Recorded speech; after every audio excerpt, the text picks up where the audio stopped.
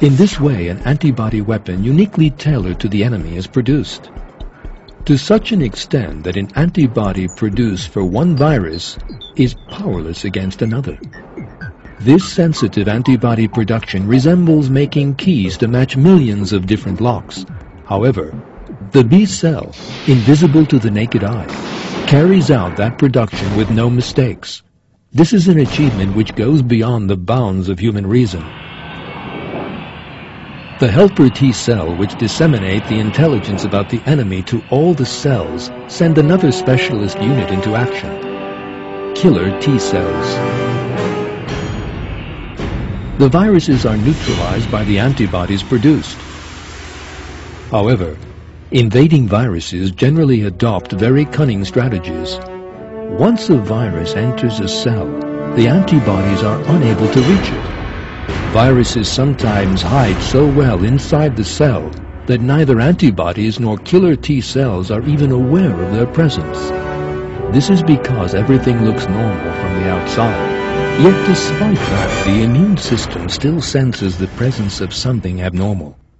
In that event, the killer T cells destroy the sickly cell invaded by the virus.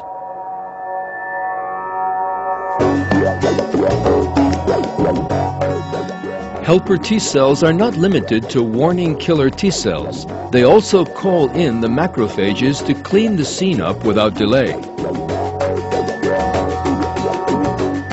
There is a great intelligence behind this behavior because the killer T cells first have to distinguish between normal cells and those in which the enemy is concealed.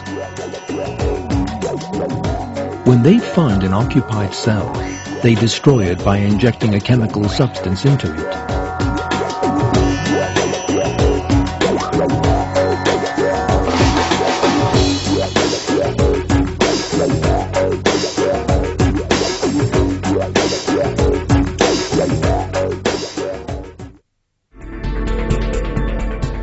Once victory over the germs has been achieved, suppressor T cells stop the war.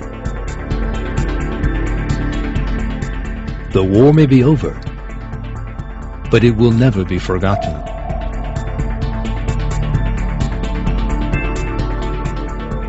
Some B cells which served during the conflict are given long lives and keep the molecular records of the past invaders. The aim behind this is to accelerate any possible war which might break out in the future. When the same enemy is encountered again, the appropriate weapon to deal with it will be produced in a shorter space of time.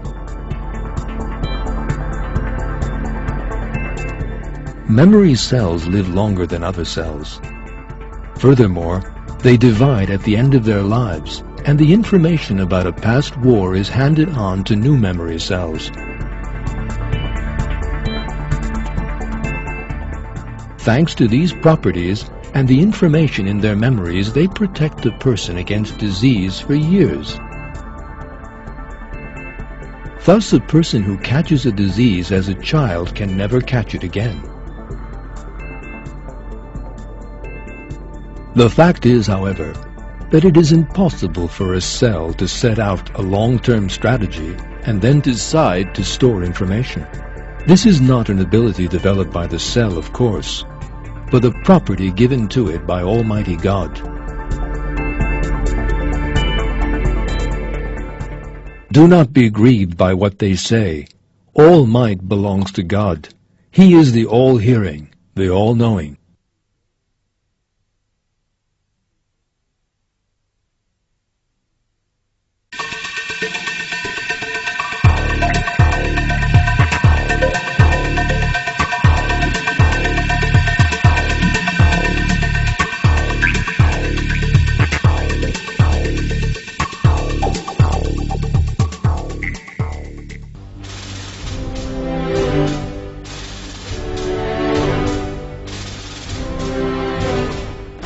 A great war is waged against any germ entering our bodies. The heroes of that war have received no military training.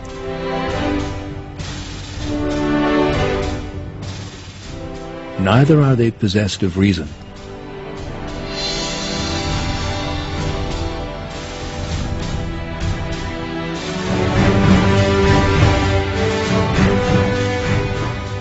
The heroes of this war are minute cells millions of which would fit into a single full stop.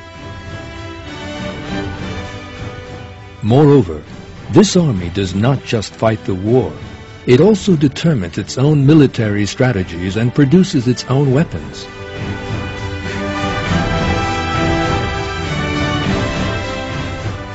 If all these processes were under our control rather than that of ourselves, we would never cope with the immense organization involved. For that reason, it is clear that one cannot expect cells or organs to possess such qualities as mutual communication, agreement, planning, and acting with a perfect organization in the light of those plans.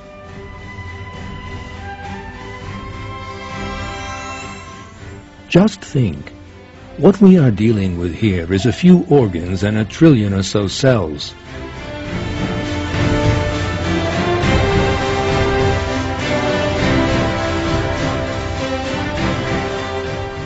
It is certain that a human community of a trillion individuals could never perform such a difficult task as mounting a defense without making any mistakes, forgetting anything, and causing chaos. There is one single truth here which must definitely be admitted, and that is that it is Almighty God, Lord of infinite might, knowledge, and reason, who creates cells, as he does everything else in nature, be it great or small. The fact that it is Almighty God who restores people to health is revealed in the Quran by citing the examples of the word of the Prophet Ibrahim.